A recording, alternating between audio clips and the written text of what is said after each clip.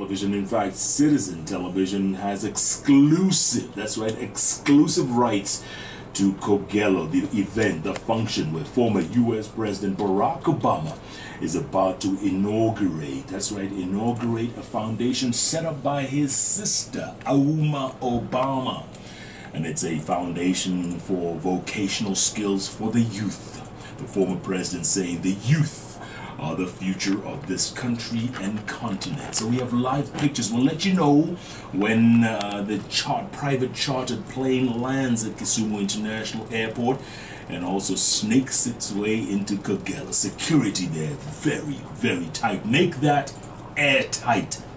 If you do not have accreditation, if you do not have the necessary passes, then you will not be let anywhere near that function. They're calling it a private function because right after that, it wouldn't last very long, maybe a couple of hours at most. After that, the former president gets on his plane, boom, all the way to Johannesburg, South Africa, where he will be the headliner in the annual Mandela Foundation lecture.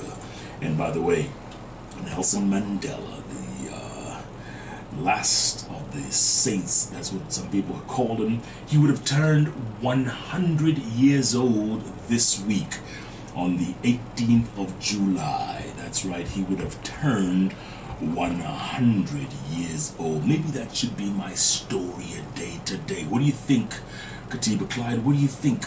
Yeah? And I'm looking at live pictures. Looks like there's a plane landing there at the Kisumu International Airport. Is that the one?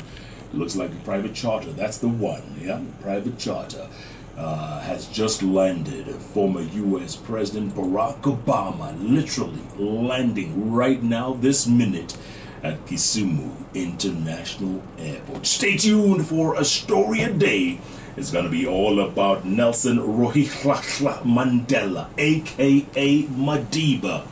He would have turned 100 years old this week.